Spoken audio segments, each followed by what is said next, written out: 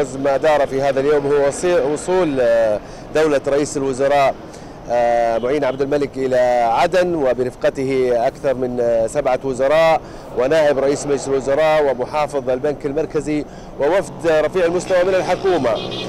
الإخبارية كانت قبل ساعة من الآن في طليعة من استقبل دولة الرئيس الذي كان في في استقباله عدد كبير من المسؤولين في عدن وكذلك القيادة السعودية في التحالف.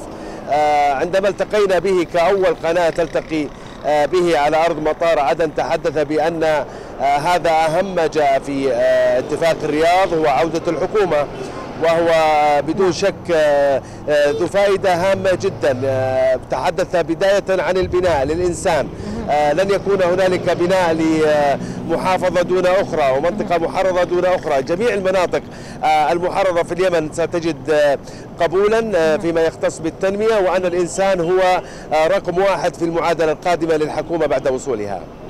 نعم ناصر ماذا عن آخر المستجدات ميدانيا؟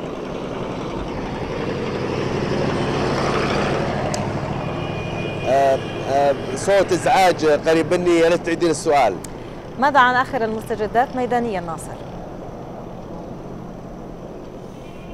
على الجانب الميداني هنالك يعني آه حشد كبير من القوات في الضالع آه محاولات لمنع ورد وصد قوات الميليشيا التي تحاول أن تخترق بعض المواقع ولكن القوات المتواجدة على أرض الميدان تمنع ذلك في كافة أنحاء اليمن. ربما عودة الحكومة إلى عدن هذا اليوم سيكون من دورها أيضا تنظيم العمل العسكري ما بين القيادات وكذلك الأمن الداخلي.